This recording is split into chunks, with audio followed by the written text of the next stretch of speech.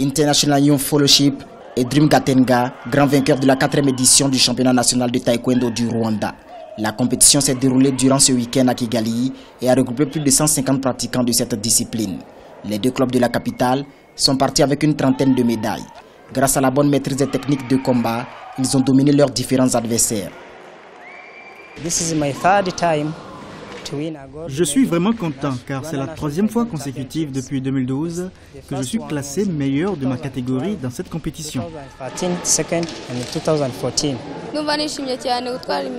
J'ai remporté des médailles dans ce tournoi et je suis satisfaite. Je vais désormais représenter le Rwanda à l'international. Le taekwondo est présent au Rwanda depuis près de 4 ans. Il compte environ 2000 pratiquants. 10 pays de l'Afrique de l'Est, dont l'Éthiopie, l'un des meilleurs, pratiquent la discipline. Le taekwondo rwandais, quant à lui, demeure en plein essor.